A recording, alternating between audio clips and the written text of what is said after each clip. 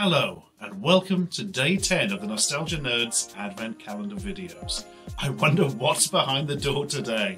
But I don't care, but I wonder. Actually, I don't wonder because he's already told me. It's not really interesting. Bye. Thump, thump. Rumble turns in the direction of the attic window. He opens the window and is immediately hit by a snowball. Smash! He wipes away the snow only to see Pix and Cone gathering up another snowball. What do you want? Pix and Cone want him to come down and play. The ice has frozen solid during the night, making conditions perfect for hockey. Rumble has to disappoint them. He is about to close the window when Cone shouts to him. Wendy will be there too. Rumble looks out once more. She's out skating on the lake with her friends, adds Pix.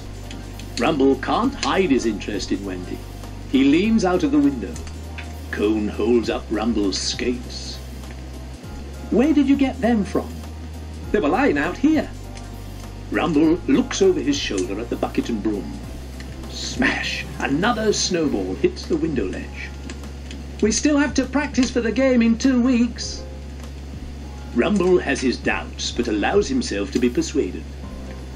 I have to be back in two hours so I can finish cleaning the floor, he thinks to himself.